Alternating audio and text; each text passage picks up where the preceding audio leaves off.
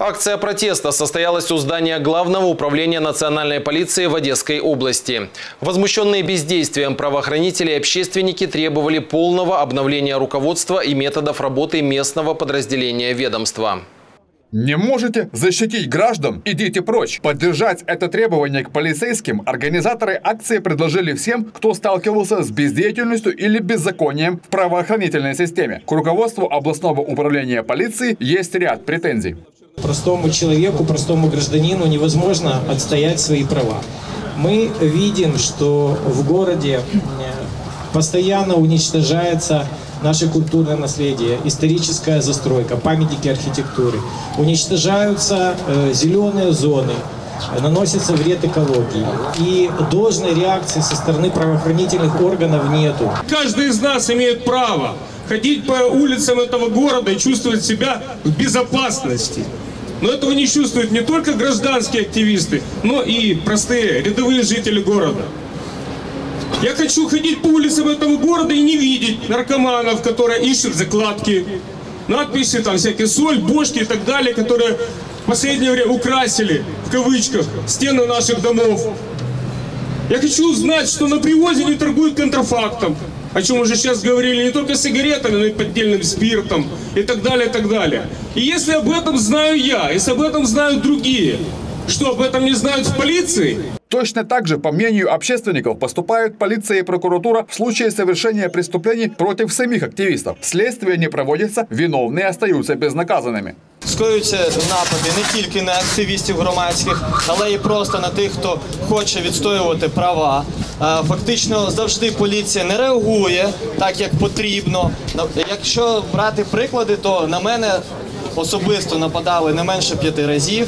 Мені погрожували кілька разів. Так само е, проводився тиск, е, ну з допомогою так само тиск на мене, з допомогою тиску на моїх рідних. І через це гадали, що я припину займатися громадською діяльністю.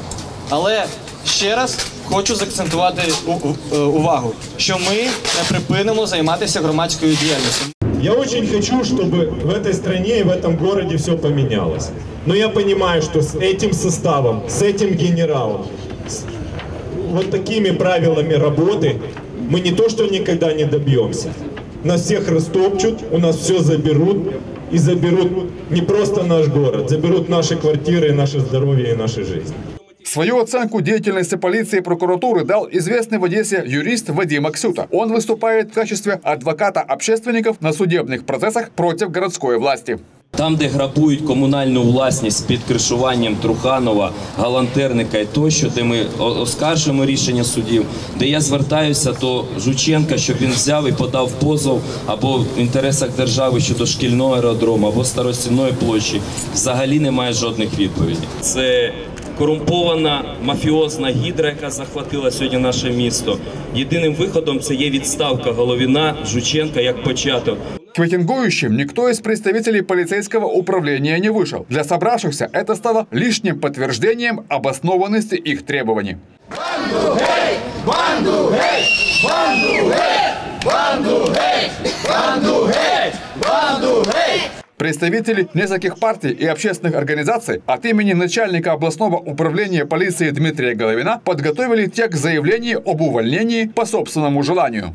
Міністр внутрішніх справ України Аваков, голови Національної поліції України Князєву, від Головина Дмитра Валерійовича, начальника головного управління Національної поліції в Одеській області. Заява про звільнення.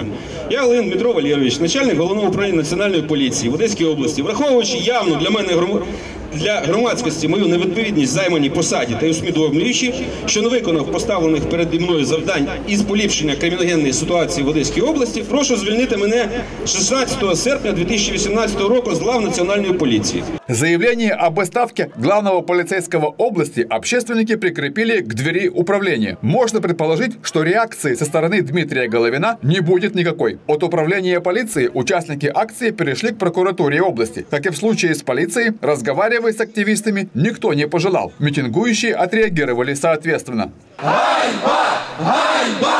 Ганьба! Ганьба! Банду! Эй! Банду! Эй! Банду! Эй! Банду! Эй!